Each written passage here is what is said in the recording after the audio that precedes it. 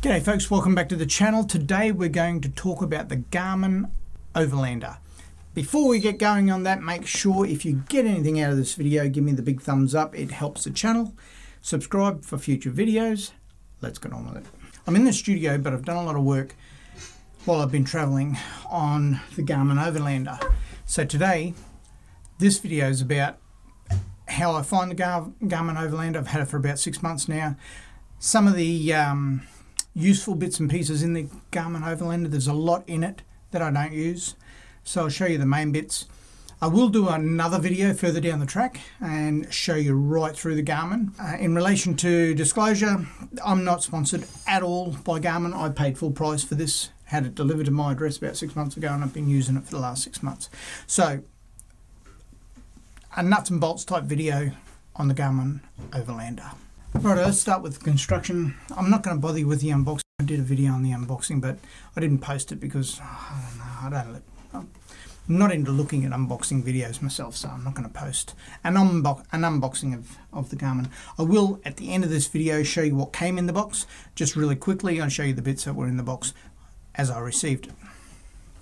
Now, construction. Construction of the Garmin Overlander. It's very basic. You've got the main piece, you've got the um, magnetic uh, adapter here, and that goes on really easily and uh, comes on automatically once you uh, once you put it on. It's quite a good strong thing. In six months, I've never had it rattle off, so no trouble at all using it. I use it on a joystick type mount my car. It's, it's a big ram mount that comes up from the floor. It's bolted to um, one of the bolts in the seat comes up, stands like a, a gear stick, I guess you'd call it, and this goes on top of the gear stick, and then this just attaches to it. When you need to use it, you can pull this off and use it as you need it, and just put it straight back on. It's very easy on and off. It's a dustproof cover, and it's supposed to be drop proof as well from three feet. I'm not going to drop it to find it out, but it, it certainly is a sturdy, sturdy piece of equipment. It's got a little bit of weight in it, not not a lot, probably I guess probably the best part of 400 grams, thereabouts.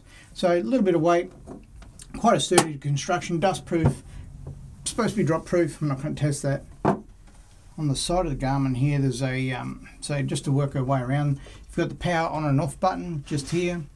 There's a little flap here. I've got no fingernails so I'll use a knife to get this flap started. So a little flap here, you'll see that's where the SD card goes and a, um, a, a, downloading port. There's also, looks like a, a, jack there for an earphone or head, headset. Not sure what that is. I've never used that. I never needed to. But uh, yeah, you can download direct from here. We can just take the SD card out. Um, I always just take the SD card out. Actually, I don't. Um, I do it wirelessly, so when it comes in, it just um, syncs with the computer as I leave it on my desk. It works from there. So it does have 360 reading on it. At the top, you'll see two more buttons, volume control. And that's it for buttons. And that brings us back to the beginning. Okay, we'll just leave it connected to power for the moment. So this is your home screen home screen comes with main the two main modes which is drive mode and explore mode the drive mode that's just your standard navigation system for navigating around cities and the towns as you uh, drive through them the explore mode you can get either go back to it to get into explore and tap on it. That's your navigation system that you use when you're out and about in the countryside looking for tracks. So the other way to get into Explore is when you're on the home screen, that little icon up here, touch that, and that'll take you through to Explore. Now you've got plus minus here, we'll go minus a few times here. And you can see it's HEMA maps and it's Australia wide, so it'll cover anywhere that you want to travel. You see I've got a map, I've got it planned here. Uh, that'll be the, the first half of the Simpson Desert trip that I'm doing next year, starting at Birdsville, finishing at Mount Dare. Then we're doing the Madigan line that comes back to, to Birdsville from, from Mount Dare. So that's all happening next May.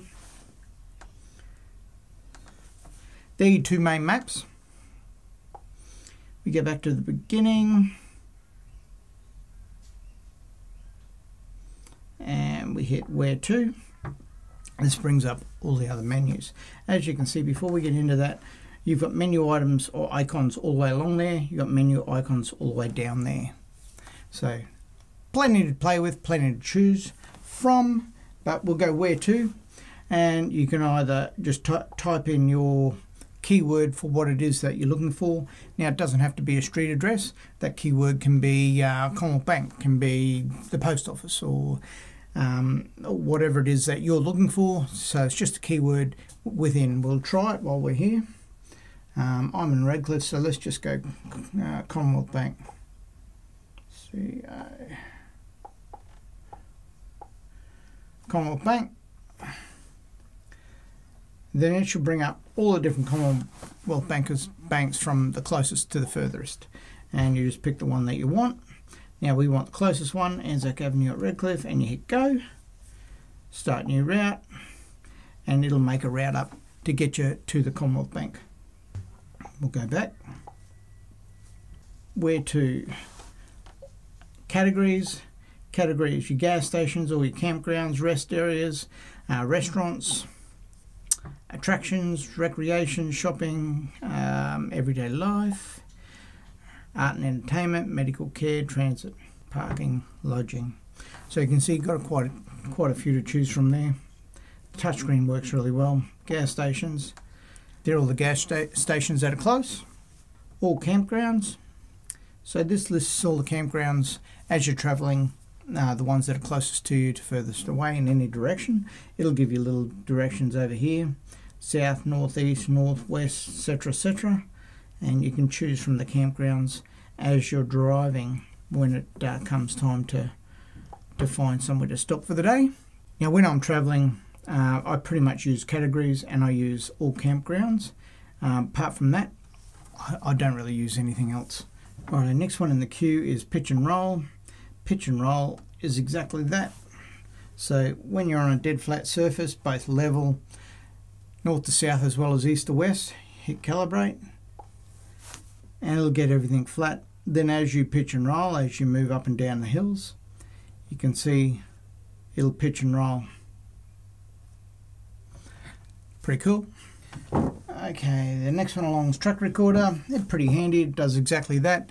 Um, when you start a track, you hit start and it'll go through and keep all your details uh, so that later on when you get back, you can pair it with a computer and uh, download it, include it in any video or, or keepsake you might might have on the uh, on your desktop. Um, it covers recorded distance, total time, moving time stopped, current speed, overall average speed, moving average, and maximum speed. And when you're done, you just hit stop. And it'll give you some options here. Resume recording, save track to Garmin Explore, discard track. And we'll discard this one because we don't want to save it. And move on to the next one ABC this one's pretty cool. Um, it gives you elevation it gives you barometer and it gives you a compass um, quite handy. All of these things can be included in your main screen too. So if you go back to your main screen and hit this little button down the corner you can include things like elevation as you're driving and see it as you go um, you can include trip data. There's your trip data. You can include pitch and roll as well.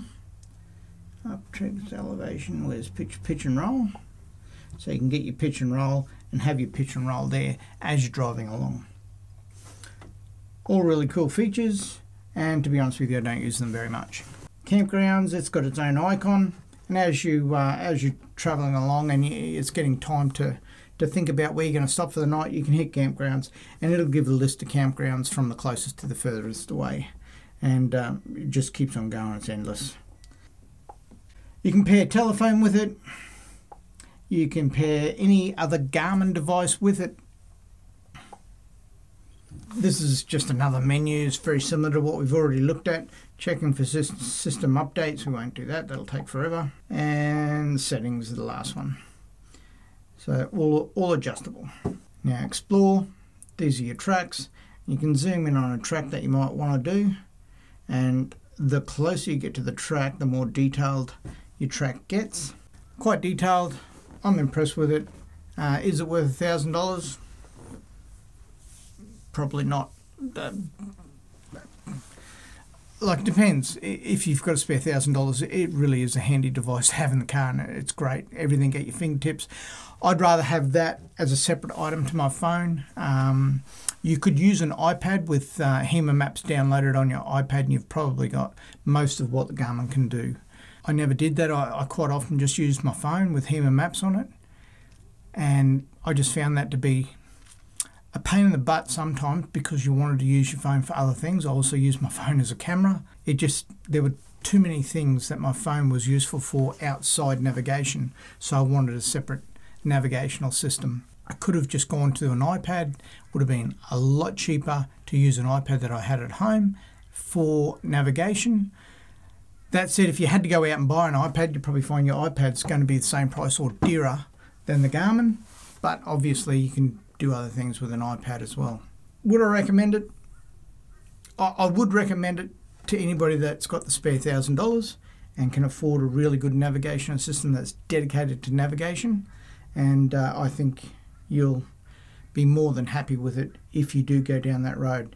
That said, you can get away with using an iPad or a separate device other than your phone. I, wouldn't recommend using a phone for navigation if you're going to navigate your way around Australia through tracks. Righto, that's the Garmin Overlander. Before we uh, wrap things up, one thing I'd like to say is I always take paper maps with me.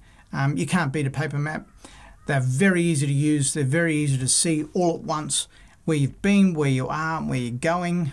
Never changes. It's always there, and doesn't matter what happens, it doesn't break uh, failing a fire, I guess. But paper maps. Always have paper maps with me as a backup. That brings us to the end of the video. Thank you very much for watching. I really do appreciate it. Hope you got something out of this video. Hit that subscribe button and uh, some watch future videos on the channel. Make sure you give me a big thumbs up if you got something out of this and I'll catch you on the next video. Take care. Overlander. It's got a serial number, Bluetooth symbol, barcode and Taiwan inside the box. There's four little screws there that'll be for mounting. That's the power cable that goes into cigarette lighter in the car.